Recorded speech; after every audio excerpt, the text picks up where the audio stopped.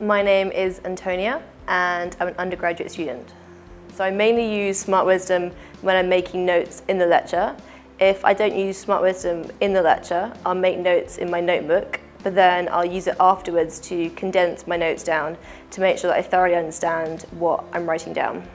So the main benefits of using Smart Wisdom is that it condensed my notes down onto one small page of writing rather than say 20 pages of writing, which is really useful. Um, it's also incredibly visual, which is a massive benefit to me because I'm a visual learner and I'm always really happy when my notes look great. So that's also really good. so when I'm using Smart Wisdom, I feel good. Um, I feel like I'm understanding my notes a lot more and, and they're a lot clearer to me um, because I think you have to really know what you're writing, um, which means you have a high level of understanding. So I feel a lot more competent after writing my notes.